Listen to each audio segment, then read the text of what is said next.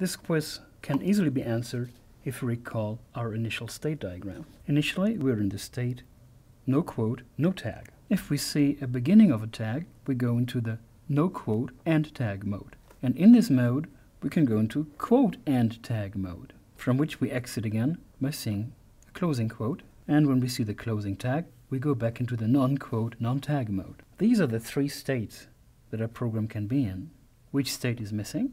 The state that is missing is a state in which we would have quotes, but we are outside of tags. This is exactly the problem we would be handling in our program. We would take care of quotes even outside of tags. This state should not be reached. So how can we express this with our assert statement? What we want to make sure is that this state can never be reached. So this is quote and not tag. The inversion of this is tag or not quote. You can see that either we're in non-quote mode or if we are in quote mode then we are in tag mode and the assertion that actually checks this is this one.